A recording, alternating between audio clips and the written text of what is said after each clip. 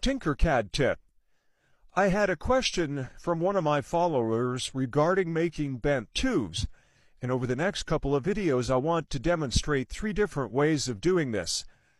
The first one I want to demonstrate is using SVG revolver. So I started by making this shape here, which is 10 by 10 and had a hole in the middle of it. I selected on it, I do an export and export it as an SVG, and I called it benttubes.svg. We'll save that. I then came back over here and did a search on SVG revolver, and I found this shape. Once I bring this shape out, let's change the color to yellow. Let's set some of its parameters here. Sketch height, let's make this 10. Inside diameter is 10. Number of sides 24. Sketch rotation I'm leaving at 0. Revolve angle, I'm going to change this to 45. 45 degrees.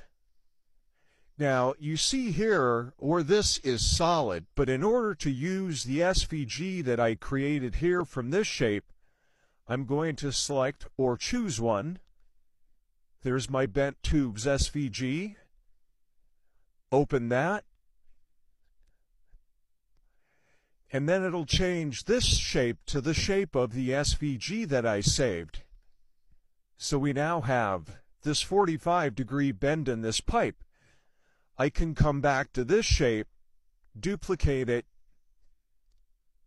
increase its height, lay it down on the bed, turn it to the number of degrees that I need. In this case, let's make it 90. And I can take and manipulate this to come into place with that bend. Bring it in there a bit, line them up. So we could make any number of these shapes at 45 degrees, 90, or whatever number degrees that you want, and then piece it together with straight pieces such as this here. Once we're done, we could group these together. Let's select all of that, deselect this and this. Group those together and I now have this piece here as one solid object in Tinkercad. We'll change that to yellow to make it more visible.